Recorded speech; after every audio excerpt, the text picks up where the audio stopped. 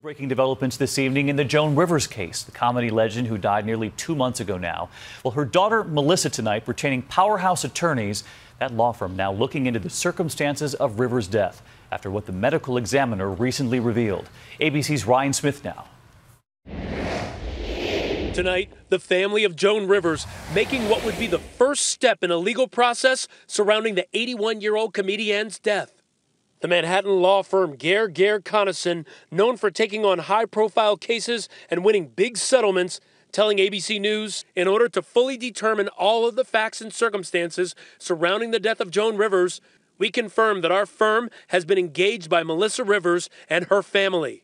According to the New York City Medical Examiner's report, Rivers died of a therapeutic complication in September brain damage caused by low blood oxygen, her breathing stopping during a seemingly routine throat procedure.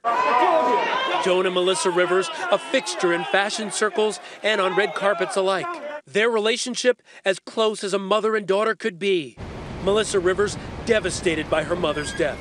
Now the Rivers family seemingly considering its next steps. This clinic where Joan Rivers was treated has come under fire. Her case prompting the medical director of the clinic to step down. Today, they didn't have a comment about the law firm's hiring, David. All right, Ryan, thank you.